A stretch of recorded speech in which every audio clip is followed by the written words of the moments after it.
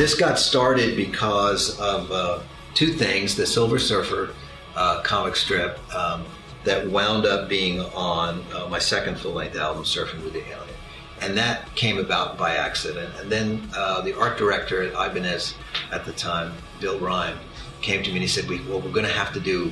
I know you. He says, "I know you're not going to wear a silver suit, but we can do a silver guitar."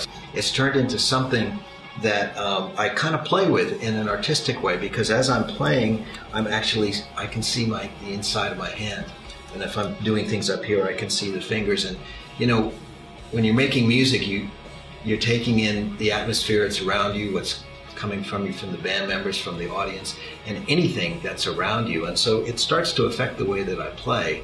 The fact that even if I go to play with my teeth, right?